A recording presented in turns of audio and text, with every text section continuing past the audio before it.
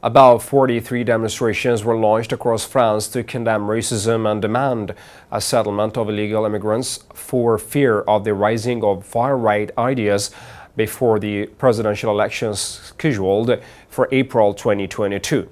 About 7,500 people participated, including 2,300 in Paris, according to the police, and chanted slogans freedom, equality, identity papers, and there is no need to mistreat them and deprive them of rights.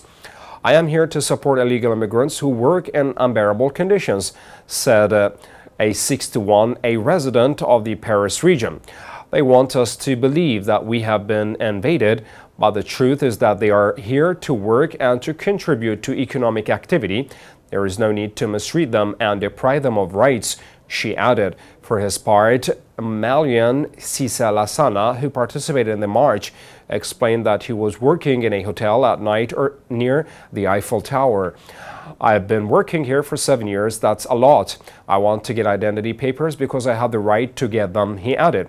Dozens of organizations, associations, and unions had called for demonstrations as part of an anti-racism and united campaign aimed at launching an alternative to the far-right voice.